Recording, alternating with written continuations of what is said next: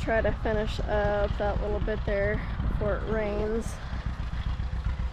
It's supposed to be clear all this week, but they decided to have a decent chance of rain, so trying to square belt this um, load came from this little field right on the other side of these trees.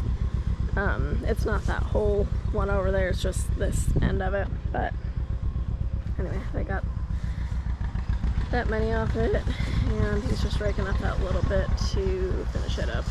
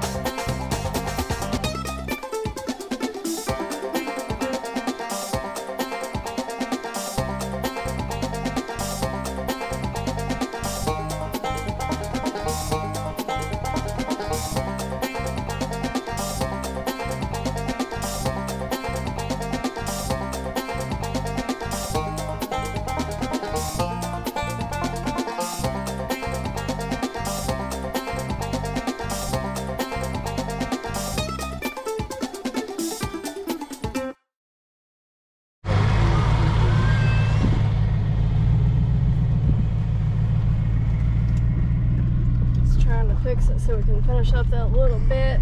And my driver and co-pilot here are taking us to put the hay we do have in the barn. Say hi. Hi. He did uh, get the baler fixed and finish up those last couple bales. I don't even know if they're gonna show, but there's one out there and one there. And I think a couple on the other side of there, a couple in the baler, but, and anyway, unfortunately not before they got rained on, so we're just gonna have to throw those out to the cows and or goats um, sometime this week, but that's alright.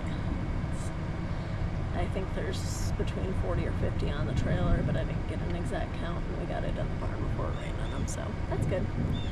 Anyhow, we're gonna head home now. Thanks for watching.